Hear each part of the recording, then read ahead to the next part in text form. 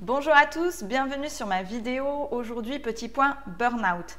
Puisque j'ai été contactée par des entreprises qui sont confrontées au fait que leurs salariés sont en difficulté émotionnelle, euh, stress chronique, ce genre de choses, donc ce qu'on affilie en général au burn-out.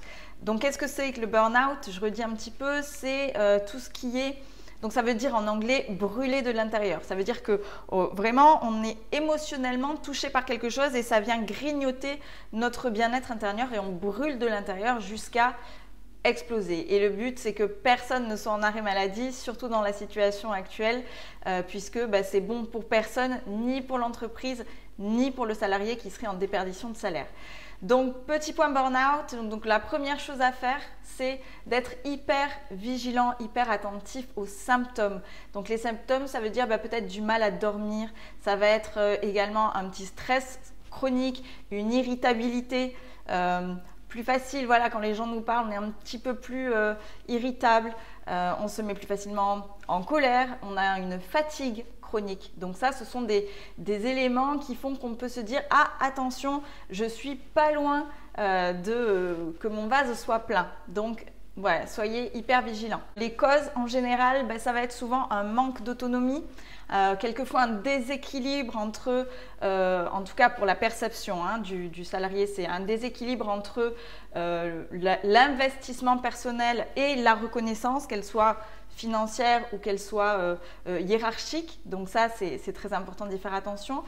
Euh, les causes, ça peut être aussi des difficultés à la maison qui vont aggraver ce phénomène. Et puis en plus, c'est un cercle vicieux puisque lorsqu'on a des difficultés au travail, ben, généralement on rentre, on est stressé, du coup on a des problèmes dans le couple, en plus avec le confinement, les enfants à la maison. On est vraiment sollicité beaucoup plus que d'habitude sur notre émotionnel. Donc les causes, elles sont euh, diverses et variées en ce moment, donc c'est pour ça qu'une vigilance est euh, accrue. En ce moment, vraiment, il faut être super vigilant. Mes conseils dans cette période, ben, pour le chef d'entreprise, ça va être de redoubler de vigilance pour ses salariés. Peut-être faire intervenir quelqu'un dans l'entreprise pour parler justement, faire un petit peu de médiation pour parler des difficultés que chaque salarié rencontre. Ça, ça peut être une bonne idée. Ils se sentent pris en charge euh, et du coup, ils se sentent reconnus. Pour les salariés dont c'est le cas, euh, mon conseil, ça va être vraiment d'essayer de se détacher un petit peu, d'accepter la situation qui est difficile en ce moment. On se retrouve souvent avec beaucoup de travail. Euh, et oui, c'est un fait. Donc peut-être en parler à, sa hiérarchie, essayez de prendre du recul et surtout accordez-vous minimum une heure de plaisir en rentrant à la maison, euh, une heure de, temps de pause, de calme, vous faites quelque chose, vous faites de la guitare ou euh, je ne sais pas, quelque chose qui vous fait plaisir en tout cas. mais la pause est vraiment importante dans ce cas-là.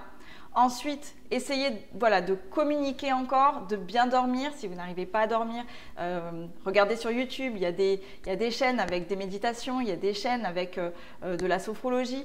Et tout ça, ça peut vous aider à dormir parce que du coup, le sommeil va être vraiment un des facteurs très importants de comment vous allez vous sentir dans la journée au travail le lendemain.